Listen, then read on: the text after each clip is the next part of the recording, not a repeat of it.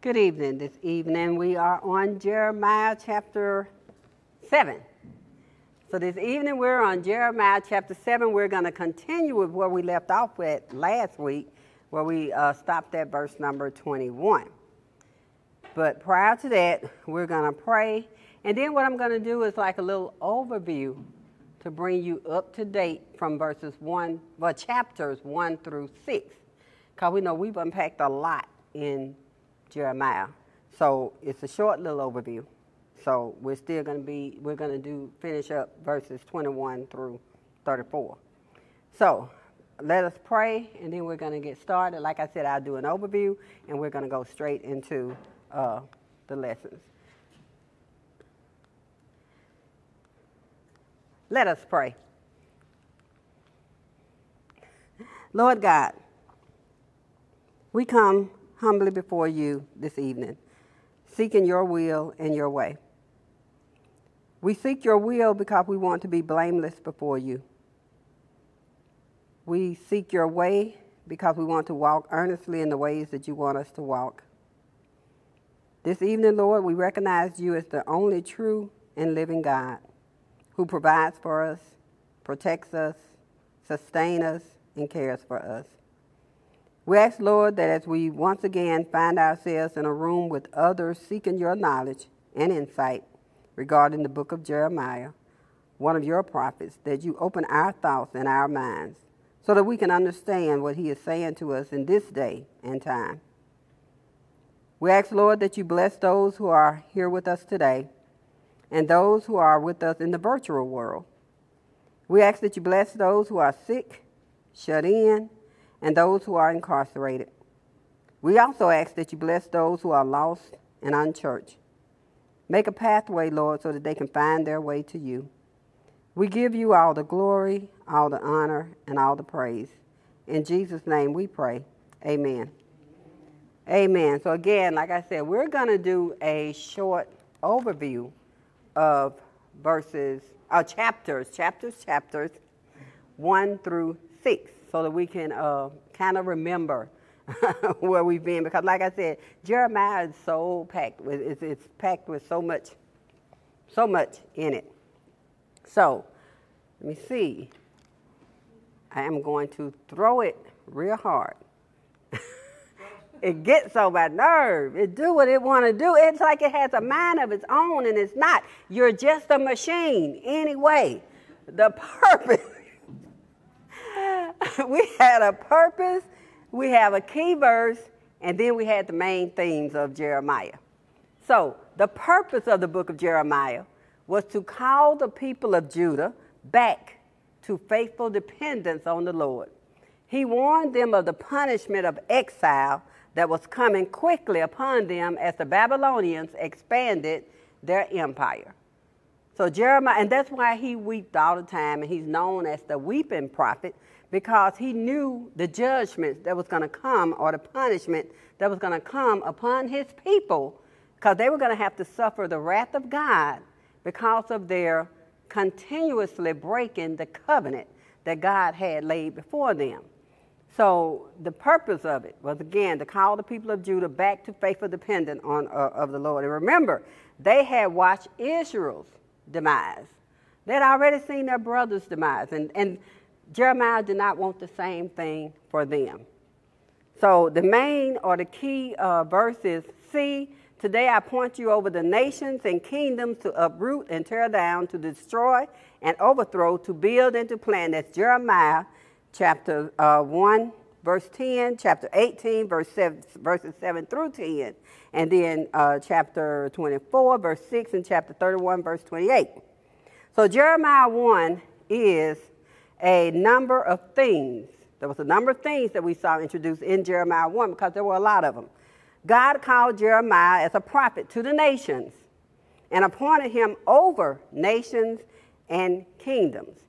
So he was supposed to, as I just read, um, uproot and tear down, to destroy and to raise, to build and to plant. Jeremiah was called upon to declare both judgment and restoration. God promised to watch over his, watch over his word and to perform it. And remember, Jeremiah was uh, looked upon by other people. All the people, they hated Jeremiah. They had a problem with Jeremiah because Jeremiah spoke the truth. Jeremiah spoke the truth. And so, and they didn't like that because they wanted to continue to live as they had been living in, in, in their pleasurable, I want to say pleasure, because they liked the pleasure that they were given, uh, that, that, that they were having while they were living in those harlotry ways. Y'all see me trying to be, uh, trying to use the words that Jeremiah was using, harlotry. I, I, didn't want to say adulterous because that's what they were doing, but in their harlotry ways. So the means of the divine judgment was revealed as disaster from the north. Remember, the armies from the north, tribes and kingdoms took a stand against Jerusalem. Remember, all these people, and, and, and the word kept saying, Jeremiah was saying that they were going to come from the north. The armies from the north, you know, they're going to come upon you. The reason for the divine judgment was the wickedness of Judah. They had become wicked. They had went beyond evil. They were wicked you know, and God just kept calling, calling them, you know, to see what they were doing, but they didn't. Because remember, they were blaming God for every, for their own sins. They're blaming God for their sins. You know, we're doing this because, you know, we're doing this because. But they were still blaming God because they were doing all these sins. So the reason for the d- divine judgment was the wickedness of Judah, who had forsaken God, made offerings to other gods, and bowed down to their own gods that they made with their own hands. Remember, they were created and making their own gods by this point. The subjects of the coming judgment were the kings, the officials, the priests, and the people of the land. So everybody. Everybody. Even the people, and, and remember, these priests and uh, some, some prophets were bad. All these people that were supposed to be looking over them and looking out for them were, all, were, were oppressing them. They were oppressing them. So they had all this going on. In the face of such a judgment, Jeremiah would know the divine protection and, and, and the enablement. So the theme of judgment meets us again and again and again and again. Because remember, he was always talking to them about their harlotry. He was always, he said they played the harlot. You know, we saw that so many times. They played the harlot. They played the harlot. They played the harlot. So, and, and Jeremiah was really trying to get through to them. The term nation occurs 13 times in just these chapters, now 1 through 6. So remember, we're just talking about 1 through 6 right now. So the term, the, uh, uh, the term nation occurs 13 times in these chapters in terms of being used as the agent of judgment. Because uh, he was telling him that other nations were going to come and, and, and be an army against them. And they were going to be the army of the Lord, remember? God was going to be in that, in that other army that was coming toward them or coming for them. So the term nation to be used against them was said about 13 times. Then the term is used four times describing the enemy from the north. So that's four times. We saw that. They were saying the foes from, some of your Bible says foes. So foes from the north or enemy from the north. So, and you can find that at chapter 3, verse 17, chapter 4, verse number 7, chapter 5, verse number 5, and then chapter 6, verse number 22. And that's where you see it where he's called, they're called out of the foes or the enemies from the north the enemies from the north. It is also used twice in contempt of the people of Judah. So in contempt, when God was, you know, like they, they were like a bad nation to him, you know. Um, and that was chapter 5, verse 9, and then also chapter 5, verse number 29. So the sin of Judah, the sin of Judah is described in several different ways. Their wickedness denotes both the wickedness of Judah and the calamity which will come upon the evildoers. Play the harlot, like I just said, play the harlot occurs a number of times in these chapters. We saw that so many times. Some of your Bibles use the W word. Y'all know what that word is, and I don't say it, but some of, some of y'all Bibles use that. But uh, I used the harlot. I prefer harlot.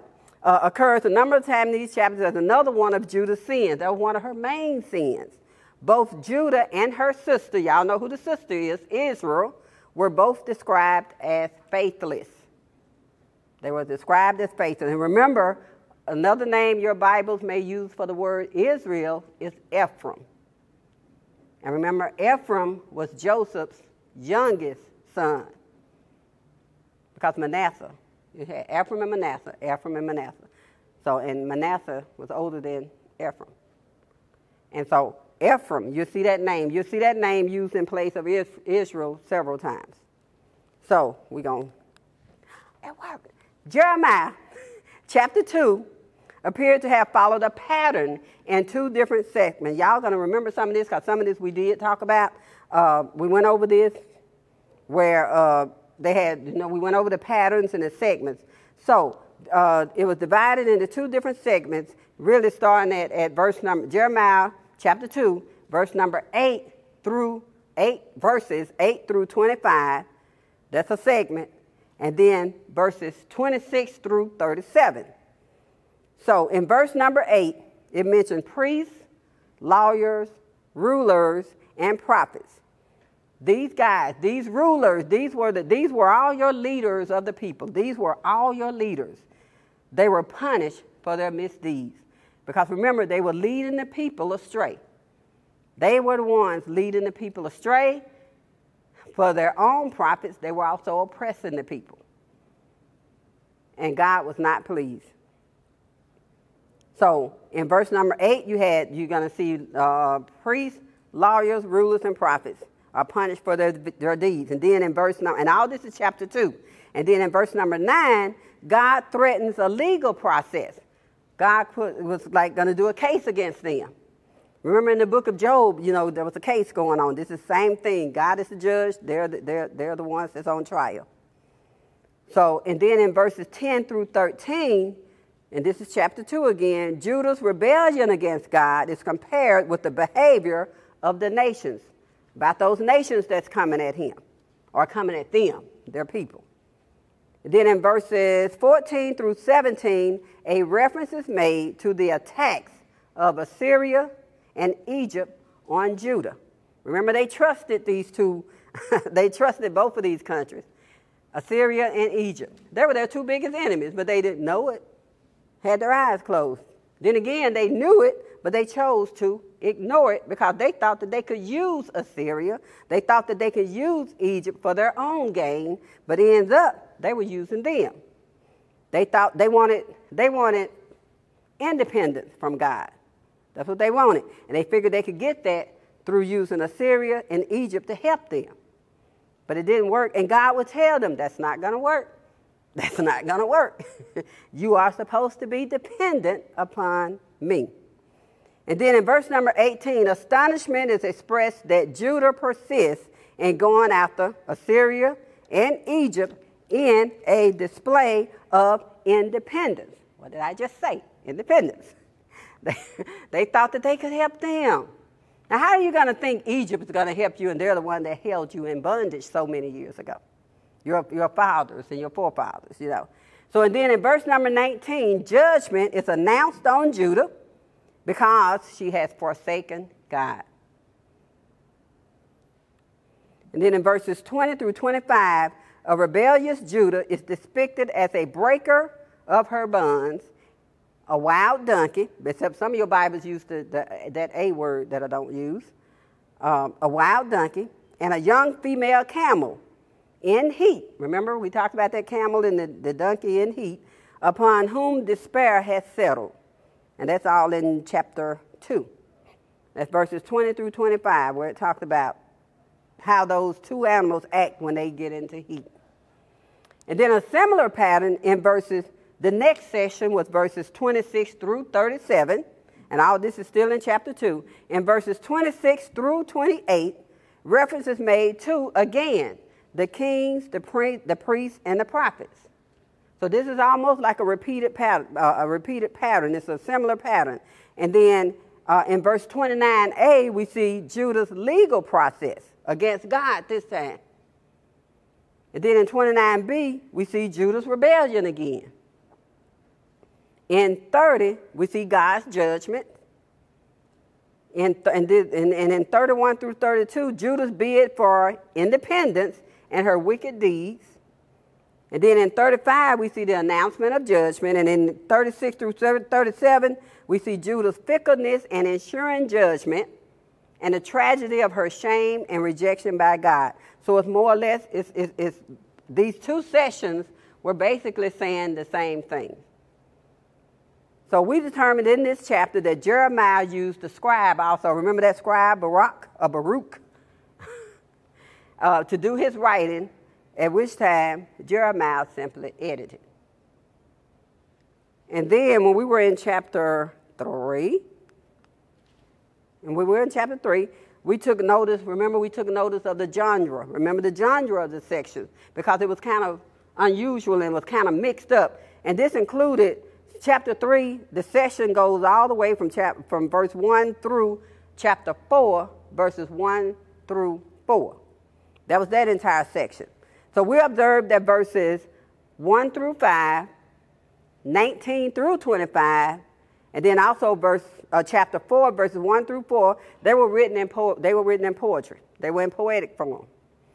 And then we saw that verses 6 through 18 of chapter 3 was written in both prose and poetic. So it's written in both of them. And so the theme of that entire section is a call to repentance. Jeremiah is calling them to repent. So this section was concerned with the nation's apostasy, and it symbolized it with the vision of adultery. And you can see that at chapter, uh, this is chapter 3. You see that at verses 1, 2, and 3, verse number 6, and then also verses 8 and 9. Because remember, these uh, prophets, as we've been going through them, they all use symbols a lot. All of them the nation would commit apostasy, which is turning away from God, and then they would turn back to God in repentance. But then they would turn away from God in apostasy, and then they would turn back to God, sort of like judges. Remember the book of Judges? Only they loved doing what they were doing. Jeremiah repeatedly told them that if they would simply repent, God will forgive them and that they will receive his mercy. Because remember, by this time, God turned his face away from them, which meant that God turned his back on them. Don't I ever think God would not turn his back on you because he showed us with his people. And remember what happened to Israel. We know Israel was simply no more. Now we're dealing with Judah. Israel is gone. So we got two and a half tribes we're dealing with Judah, Benjamin, and the half tribe of Manasseh. That's all that's left. Those other ten and a half tribes, they're gone. They're gone. The 10 tribes with all those boys and the half tribe of the other half tribe of Manasseh. Because um, remember the Transjordan, where they stayed on this side of Transjordan, the other half went with the others. So they, they're no more. Israel was destroyed, totally destroyed by Assyria, and replaced with people that Assyria had taken captive over the years and years and years and years of their fighting when they were number one. So all Israel was, was replaced by all these pagan nations. So Israel is no more. We're just dealing with Judah. Judah is here. And that's why Jeremiah is so frustrated. He's saying, remember what happened to Israel. And remember now, by this time, Samaria has become the capital of Israel. And now the Israelites that were hiding in the caves and stuff have by now came down and have merged with or got with or did it with those Samaritans that were there. And, oh, yeah, the Samaritan, the people in Samaria, and that's how they be, we got the Samaritan. You know? Y'all know what did it mean. So anyway, y'all know. so anyway, so that's how we got Samaritans. That's why the Jews despised the Samaritans because they, they were mixed with Israelites and, and the Samaritans or whoever else. And they didn't like them because they knew that was against what God wanted. So, beginning with beginning with Jeremiah 4 and 5. And I'm going to take it and throw it again. Beginning with Jeremiah chapter 4, verse number 5, through chapter 6, verse number 30. The focus is around the theme of the enemy or the foe from the north. Foe means enemy. Jeremiah referred to the enemy from the north several times. References to the enemy who would bring disaster are interrupted at one point by Jeremiah's anguish cry. Y'all remember he cried out to them and he did this whole big plea to them and stuff. And that's in chapter 4, verses 19 through 22. And then at another by reference to Judah's sins. So he, he bringing up Judah's sins to them. Like this is the only, these are the only times that this was interrupted. And that was at chapter 5, verses 10 through uh, 31. Yeah. And then at another time, by an appeal to the people to stand by their old ways instead of depending on expensive rituals. Remember, they were getting those rituals and they were doing all this with these rituals that they should not have been doing. Remember, they were even doing uh, sacrificing children, sacrificing people, sacrificing children at this time. The theme of judgment was understood to be brought on by Judah's continual breaking of the covenant, which would bring upon them the curses or the judgments. So even though it was painful for Jeremiah to watch his people suffer, he knew that the consequences of rejecting God's covenant were a divine judgment. So that was what they, and, and that was the wrath of God coming down on them. And Jeremiah, that's why he's known as the weeping prophet, because he knew what was going to happen to them. He knew that it was bad. He just did not want them to suffer. And he just could not understand why they would just would not just think about what had happened to Israel. Because that was that was a real that was like a slaughter. So will you read verses Belinda, I have to call your name out. So Belinda, will you read verses 21? She's in chapter 7, verses 21 through 28. Thus says the Lord of hosts, the God of Israel, add your burnt offering to your sacrifices and eat the flesh.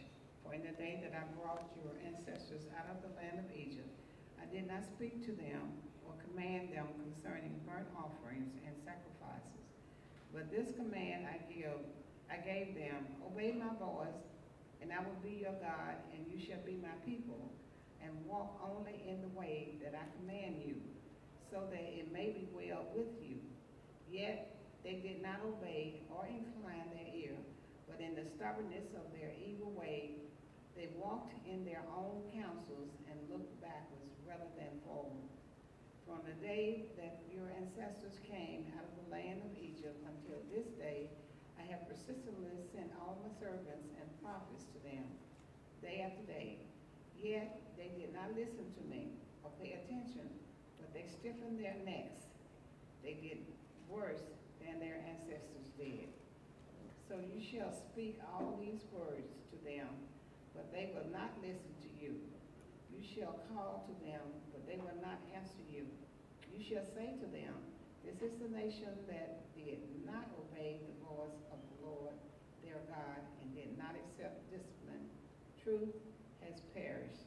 It is cut off from their lips. Amen. Again, I'll ask you when you're studying, when you're reading, study it. Don't just read it and run through it and stuff. I ask you to look out for certain words as you're reading out there, studying, so that you'll see when things stand out to you and that'll make you say, oh, why was this?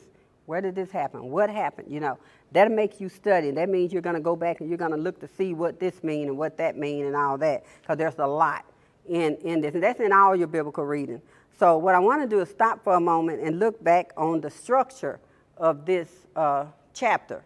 So, verses 1 through 15 refers to the temple, in which uh, the people trusted was a cover for every kind of ethical and legal misdemeanor and would therefore be destroyed. The temple was going to be destroyed because of all the evil doing they were doing in this temple. And remember, this is the temple that Solomon built. This is during the prophet's time. So, and remember, it was a beautiful temple. Verses 16 through 20 refers to the fact that alongside the temple practices was the deep rooted worship of the Queen of Heaven, which demonstrated a fundamental insincerity in the nation and was a symptom of the people's refusal to accept the sovereignty of God and his will. they would rather worship those false idols. Queen of Heaven, remember that was Astaroth or Astarte, A S T A R T E. So, and those were female goddesses that they would rather worship. Then verses 21 through 28 refers to the fact that the whole sacrificial system had become meaningless to God. It was never his intention that either the temple or the sacrifices should become an empty form.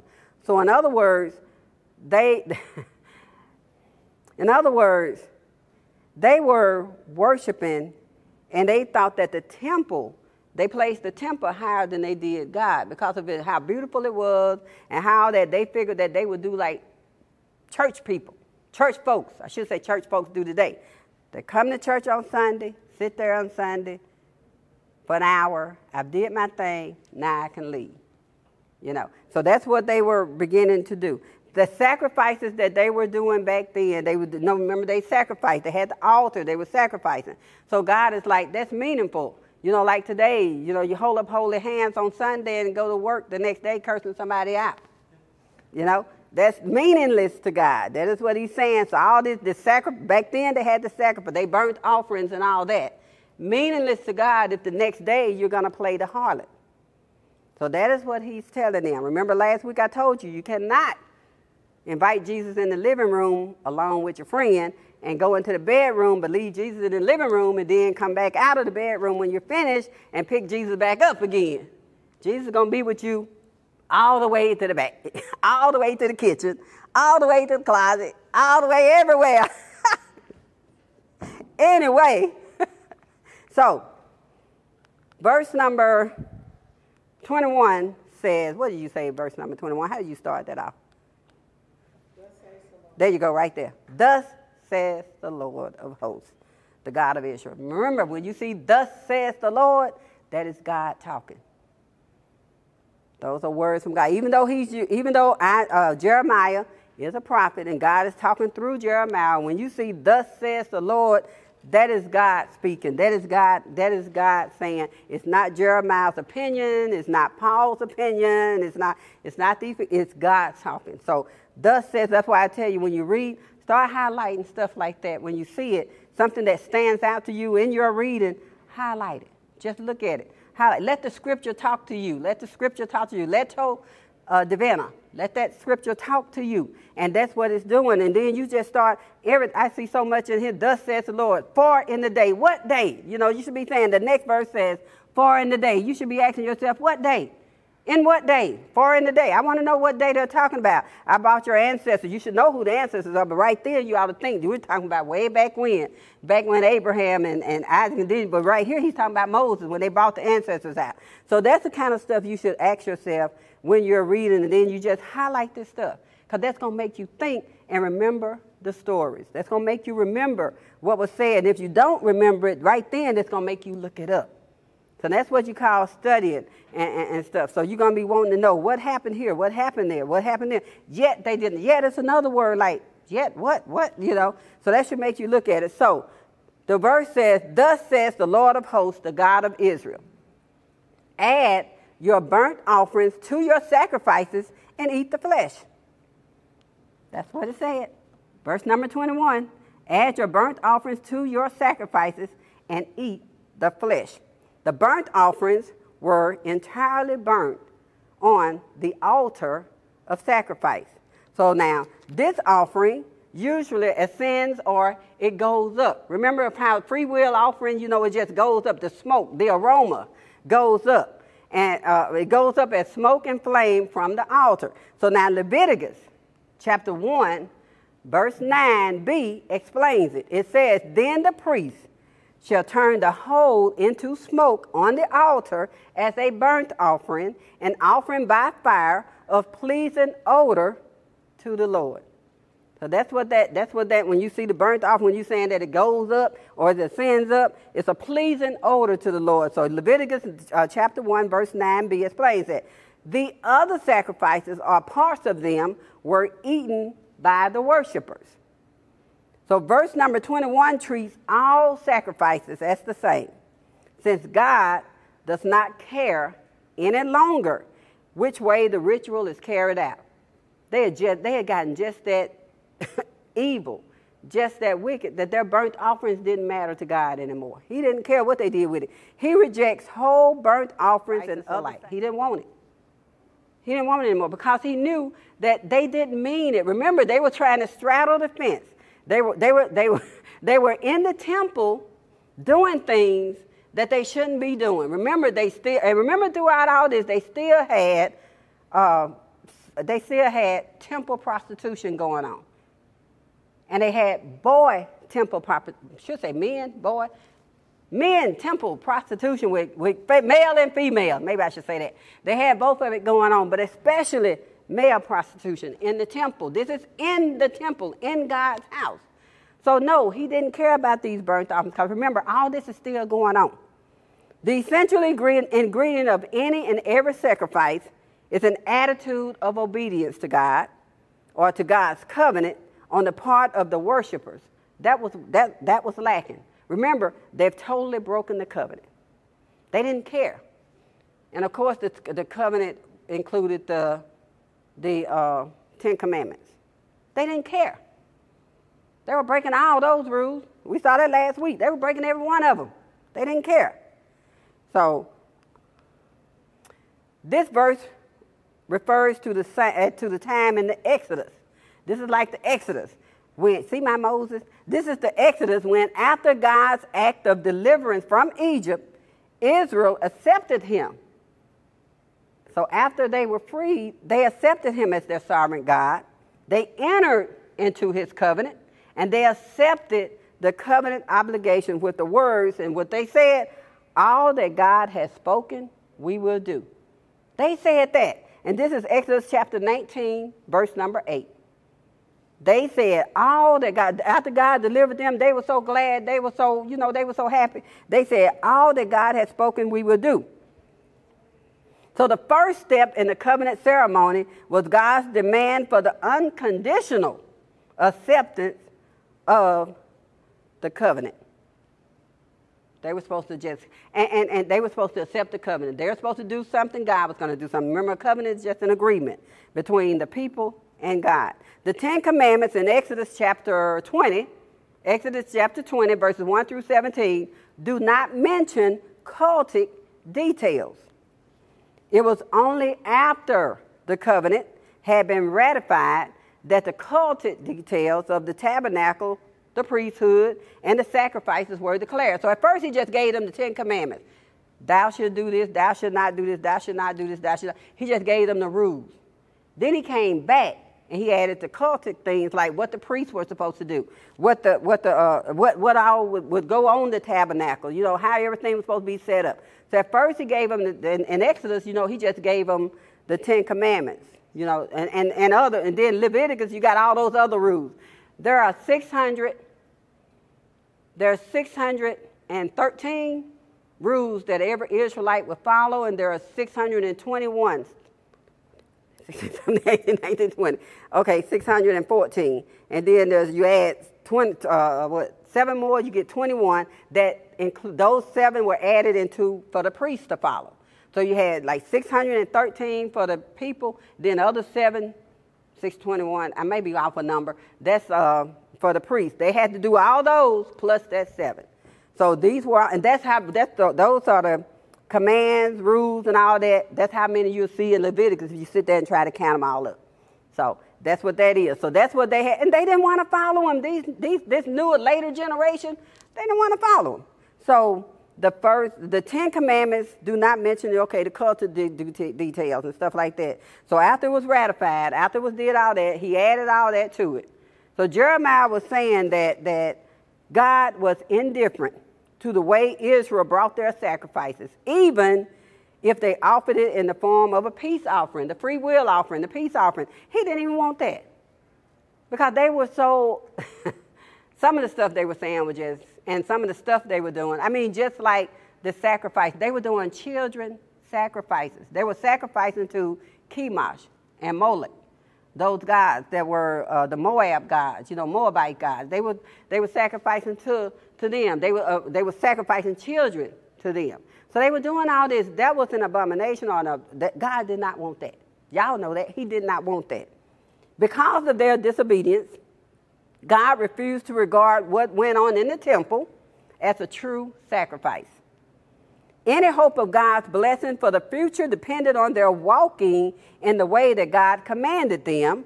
That is, the blessings of the covenant were available only to those who walked or those who conducted themselves in accordance with the demands of the covenant.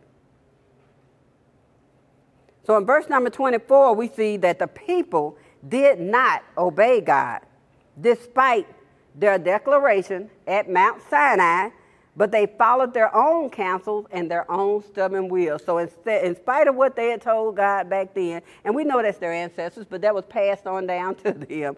So despite, and even after Josiah, when he found the, uh, when you know they had lost the, the, the, covenant, they had lost the Ten Commandments, they had lost all this. All this was lost in the temple and all that. And then he found it when it was broken up. He found it, brought it back. He tried to do a reformation, and even after all that, even after all that, they still did not want to follow or recognize the covenant. They just did not want to do it. They wanted to live according to the way that they wanted to live. So they just didn't care. So in verse number 24, again, we saw that despite everything, they did not obey God. So as a result, they went backwards instead of going forward, or they grew worse instead of getting better. Deliberate rejection of the covenant obligations by one who rejects the covenant and the Lord of the covenant leads to deterioration. And that includes the land.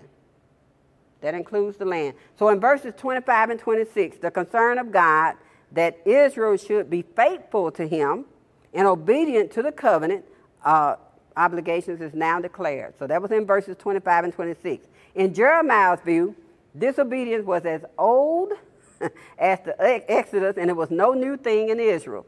God sent his servants, the prophets, with urgency and persistence. It was all in vain because Israel did not pay any attention to God. So, in other words, they stiffened their neck. I think you read that. They stiffened their neck. And in fact, they outdid their forefathers in wickedness. They did worse than they did. The people of Jeremiah's generation were the inheritors of a long tradition of disobedience. They just did not want to do what God wants them to do. So in verses 27 and 28, the divine word had been given. It was Jeremiah's responsibility to declare it, and that's what he did. That's why they didn't like him. Because no matter what they did to him, Jeremiah still kept uh, giving God's word. He never changed. He was the same. He still. He cried about it, but he did it because he wasn't crying because how they felt about him. He didn't care. His main thing was he knew the judgment. He knew the punishment that they were going to suffer. That's why he was crying. He felt sorry for the people. So it wasn't that he was scared and he was crying because of himself and what they were doing to him, and they wasn't listening to him. It was because he knew the wrath. He knew God's wrath that was coming. It was part of his understanding and experience that the people might not listen. He was used to that. Prophets before and after him had the same experience. People didn't listen to him. They, they didn't want to hear the prophets. They didn't want to hear that. Some of them they killed, stoned. They did all this. They didn't want him. Jeremiah's description of Israel as a nation that did not obey the voice of the Lord their God and did not accept discipline was an accurate description of covenant breakers. So they got a name now. Y'all covenant breakers. So when you out there doing stuff you ain't got no business doing, guess what? You're a covenant breaker. You're a covenant breaker. And then verse number 28 says, Truth has perished, it is cut off from their lips. God's primary design or primary demand was obedience, not sacrifice.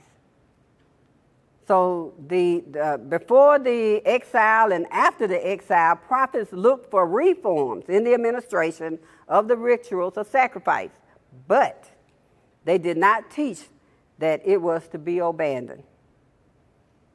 Ezekiel looked for a restoration of the temple and its cultic officials and rituals. That's Ezekiel chapter four chapters, and we'll get there. chapters 40 through 47. Ezekiel, they're trying to find answers. They're still trying to find answers. They're still trying to help the people. Haggai, Zechariah, and Malachi spoke of the temple and its officials, although Malachi was distressed about the attitudes of the priests, and he expressed the opinion that it would be better to close the doors of the temple because of how, how, how, you know, how disobedient they were to God. He was like, we might as well close the doors. Y'all not doing what God wants you to do. We might well close some churches. Y'all don't want to do what God wants y'all to do. You cannot just come and sit on the pew and then, you know, hold hands and jump up and down and scream and shout, run around the church sometimes even. And then on Monday, or probably before you even leaving out in the parking lot, you out there cursing somebody out. That's right, before the end. That, yep. Monday, you get out there, you looking at people all funny and all that kind of stuff. You can't do that. Malachi 1 and 10. You can't do that. Will you read, and we're going to co- close it out and finish it and be on chapter 8 next week. Will you read verses 29 through 34?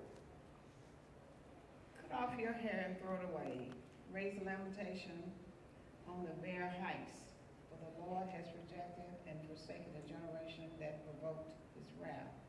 For the people of Judah have done evil in my sight, says the Lord. They have set their abominations in the house that is called by my name, defiling it. And they go on building a high place, place of Topiah, which is in the valley of the son of Hanan, to burn their sons and their daughters in the fire.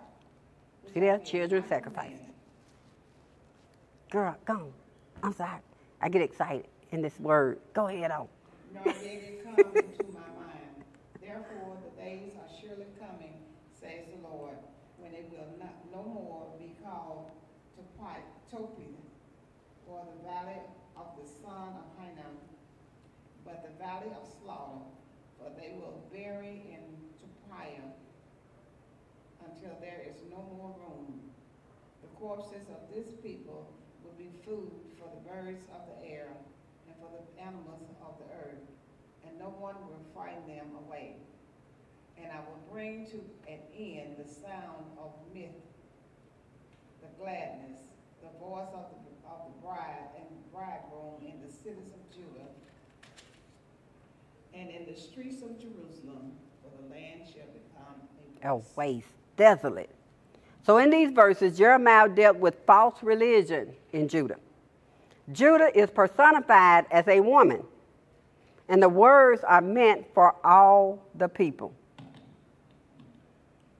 For their sins, the people must take up a lamentation.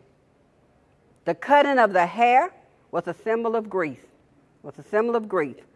The hair was looked on as a crown back then. You know, your hair, your crown and glory. So the cutting of the hair was a symbol of grief.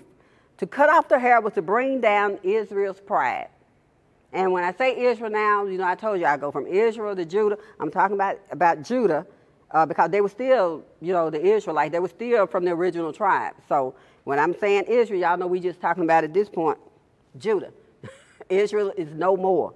So uh, the long hair of the Nazarite was a sign of his consecration to God. And you see that back over in Numbers chapter 6, verses 2 through 8. It tells you about a Nazarite. So we've already did all that years ago. Yeah, it's been a couple of years. The removal of the hair signified an abandonment of his consecration. And you see that at Judges chapter 16, verses 15 through 22, and that should be about Samson. Verse, uh, Judges chapter 16, somewhere around there should be about Samson. And y'all remember the cutting of the hair. In Jeremiah's view, Israel now represented only Judah and Jerusalem. That's why I just said. So Israel represented only Judah and Jerusalem because, like I said, Israel's been wiped out. There's no more. Um, they had abandoned Judah after seeing Israel still. And remember, uh, Jerusalem is the capital of Israel, of, uh, of Judah. Jerusalem is the capital of Judah. So they had abandoned her consecration to God and was not worthy to wear the crown of her long hair.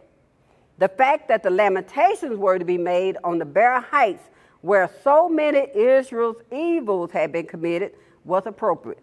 And so what that simply means is up in the high places.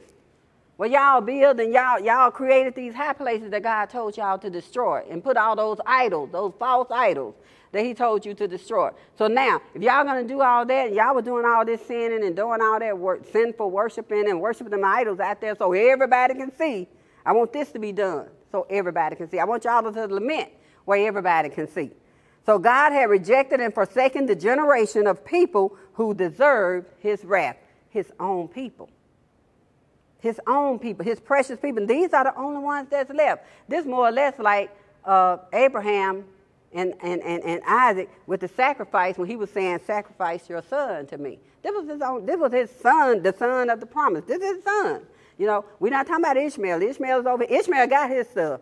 So, because remember, when God make a promise, that included Abraham and all of his generations. So Ishmael over here, he got his, you know, he gone. Him and his mama, you know, they yeah, they were out in the, what he did, sent him out and everything.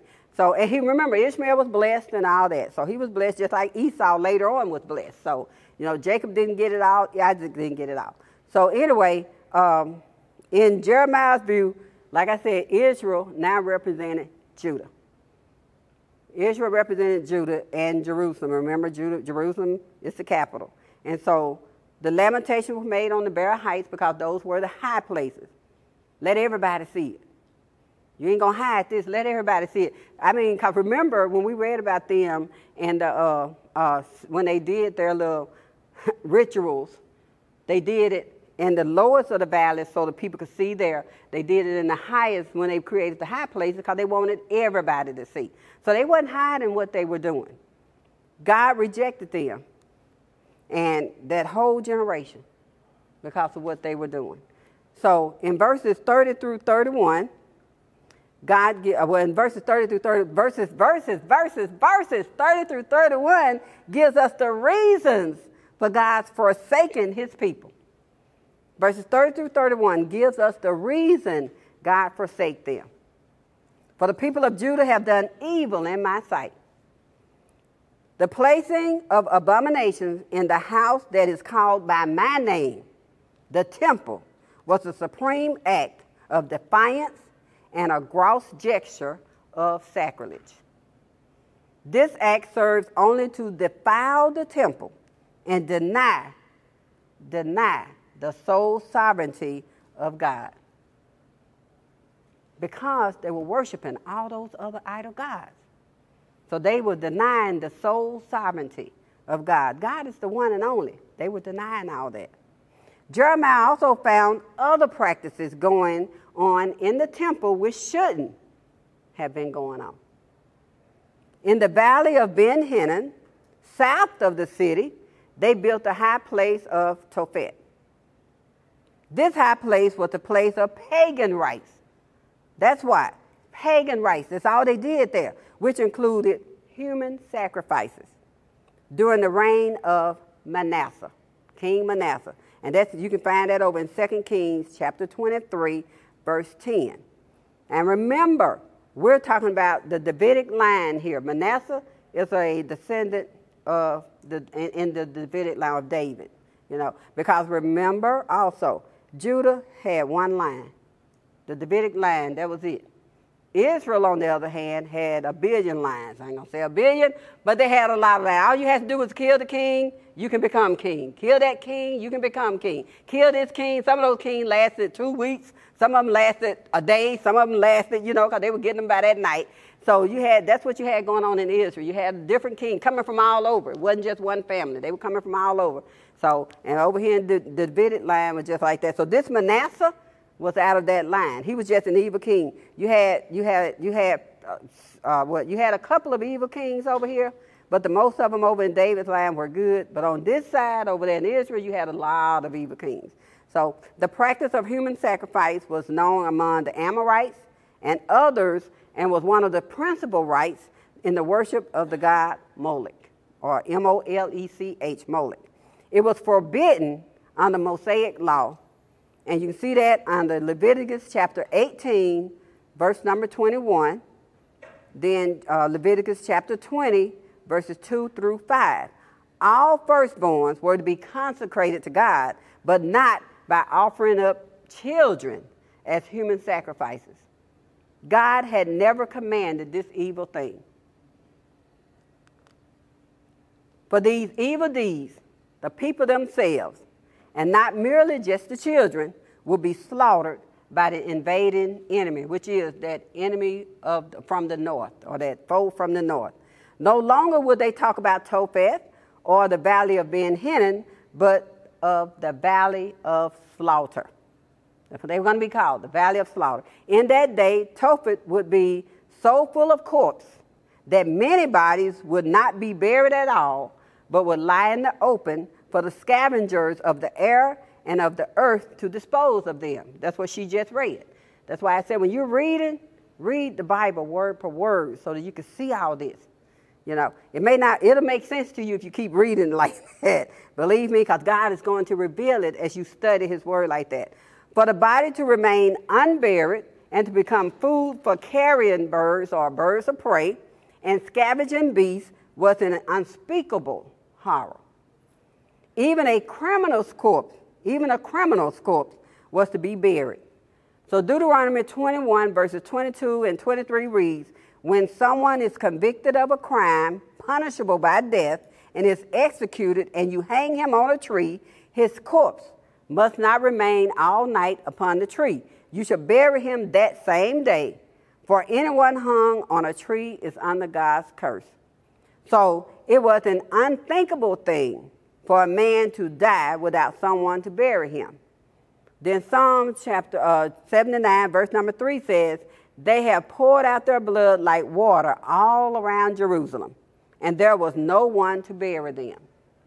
So, this picture that Jeremiah is giving us is tragic because it depicts the site of Judah's illegal sanctuary was to become the place either of their burial or of the desecration of their corpse. That place is that temple. That's the temple. A natural consequence of all this would be that all signs of normal life, the sounds of mirth or the sounds of joy and gladness, and the voices of bride and groom, bridegroom, which she just read, would disappear. And the land would be a desolate waste. Amen, amen, and amen. So next week, Bible study will be Wednesday night. We will be on Jeremiah chapter 8. That's July the 19th. So until next time, be blessed by God, be a blessing to others, be a person of God, share your love, share your faith, share God's word, and share the blessings that you receive from God with others each and every day. Amen, amen, and amen.